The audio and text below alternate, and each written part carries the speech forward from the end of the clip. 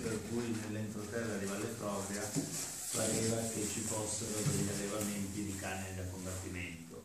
Una mattina eh, siamo riusciti ad individuare, ad individuare l'area e insieme al personale del SLASL abbiamo fatto accesso in questa, eh, in questa, in questa casa dove effettivamente eh, all'interno erano eh, allevati, anche se clandestinamente, circa una quarantina di cani. Molti di questi avevano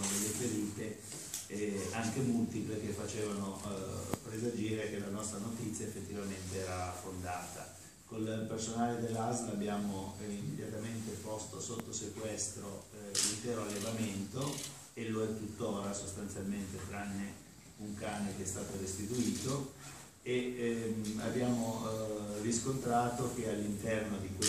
ehm, di questa villa eh, nell'entroterra Valle Crosia vi era eh, del materiale che poteva essere utilizzato per l'allevamento di cani da combattimento. Effettivamente abbiamo trovato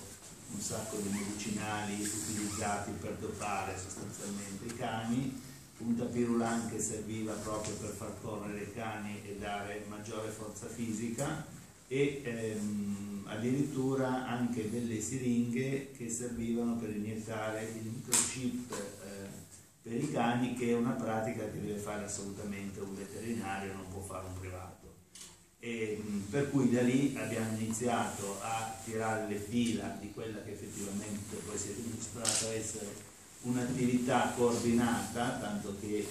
successivamente nel corso delle indagini è stato ipotizzato anche il reato associativo e abbiamo individuato anche il veterinario che effettivamente si era prestato a fornire il,